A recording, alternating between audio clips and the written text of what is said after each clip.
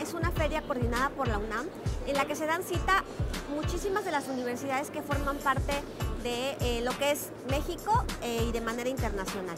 Y por ello es muy importante que nosotros estemos presentes aquí.